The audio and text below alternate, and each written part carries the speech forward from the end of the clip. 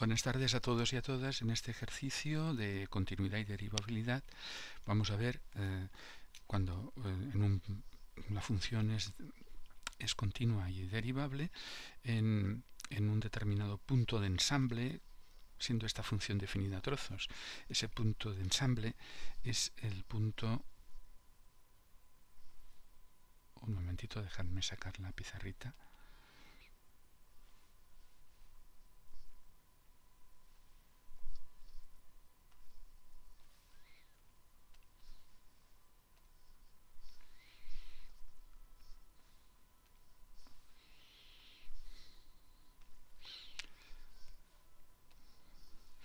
Es el punto x igual a 1, de, de, abscisa x igual a 1. Ahí se ensambla la función mediante, mmm, se ensamblan dos, los dos tramos de esta función definida a trozos. Primero estudiaremos la continuidad en x igual a 1. En los demás puntos no hay problema, por cierto, porque los dos tramos son funciones polinómicas y las funciones polinómicas son continuas en todos los puntos, por separado. Claro, pero en el punto de, de ensamble, x igual a 1, puede haber problemas.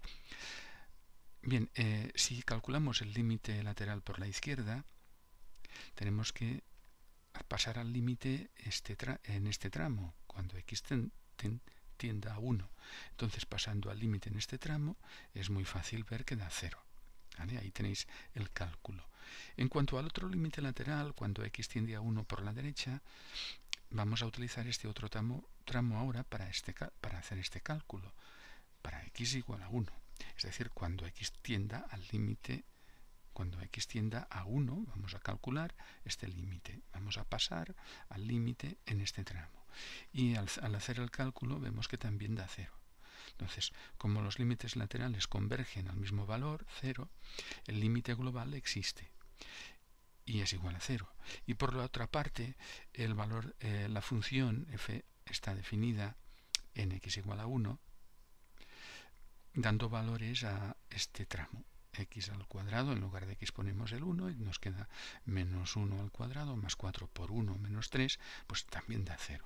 Entonces el valor de la función eh, coincide con el límite global y por lo tanto la función es continua eh, en x igual a 1 y por supuesto en todo su dominio de existencia o de definición que es el conjunto de los números reales. Ahora vamos a ver pues algo más interesante que es el, el estudio de la derivabilidad. En este caso es más interesante. Vamos a ver por qué.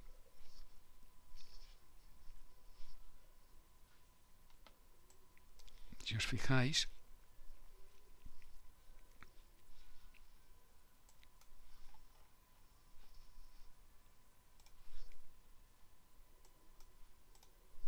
un momentito.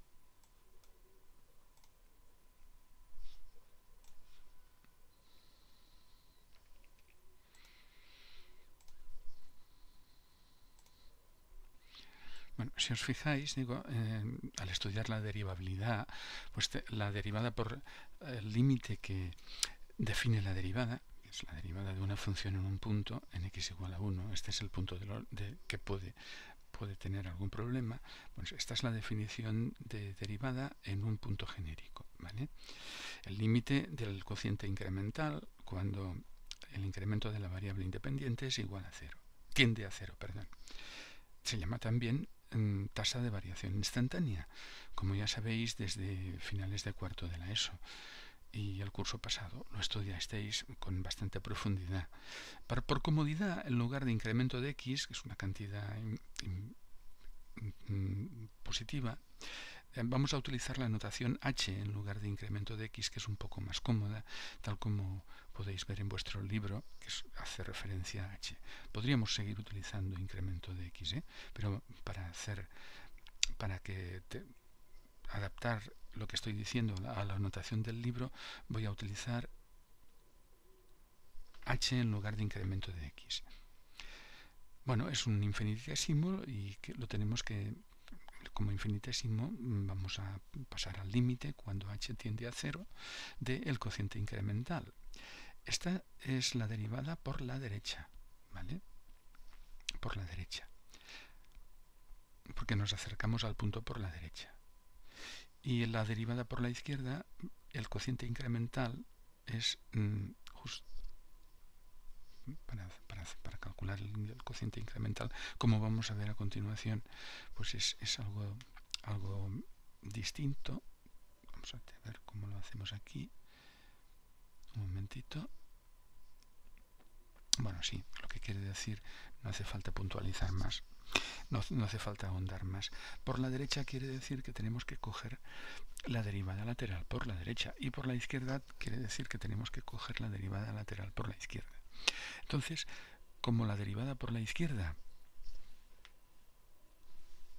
según está definida la función, es la derivada de x al cuadrado menos 4x más 3, y esta derivada es 2x menos 4, pues entonces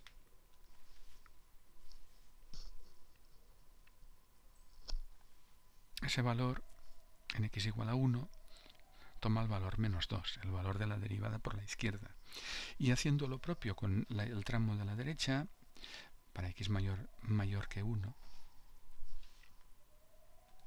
recordad cómo está definida la función, para x mayor o igual que 1, eh, al calcular esa derivada es menos 2x más 4, cuando x es igual a 1, pues nos da menos 2 por 1 más 4 igual a 2. Muy bien, pues fijaros en una cosa, y es que los, los límites laterales de la definición de derivada no coinciden. Por un lado, la derivada por la izquierda, es decir, la derivada por la izquierda es menos 2. La derivada por la derecha que viene del límite de calcular el límite de la definición de derivada por la derecha es 2 y menos 2 no es igual a 2. Por lo tanto, el límite global que define la derivada no existe. Y si no existe, hay que concluir que la función no es derivable en x igual a 1. Bueno, también nos piden que hagamos la gráfica, que dibujemos la gráfica de la función definida a trozos. Ahí tenemos el punto de ensamble, la función es continua en ese punto, ya lo hemos visto en el primer, la primera parte del ejercicio. Este es el tramo de la izquierda y este es el tramo de la derecha. Se ensamblan efectivamente en este punto. Sin embargo, la tangente a la curva del tramo de la izquierda, que es esta recta de color rosa, tiene una pendiente que no es la misma que la tangente al tramo Mm, azul, al tramo azul, eh, es decir, la derivada lateral por la izquierda no es igual a la derivada lateral por la derecha, que es lo que hemos visto antes. Por lo tanto, es una, esto nos, nos confirma de una forma gráfica lo que hemos dicho ya anteriormente, que la, función, a pesar de ser continua en ese punto x igual a 1, no es sin embargo derivable en él. Esto es muy importante que lo retengáis. Una función puede ser continua en un punto, pero no derivable en él. En cambio, la, una condición la, es condición necesaria para que una función sea derivable en un punto que sea continua en él.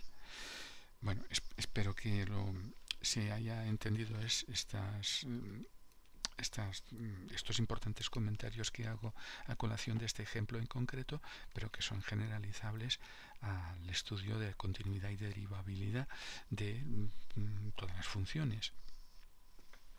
Hasta la próxima.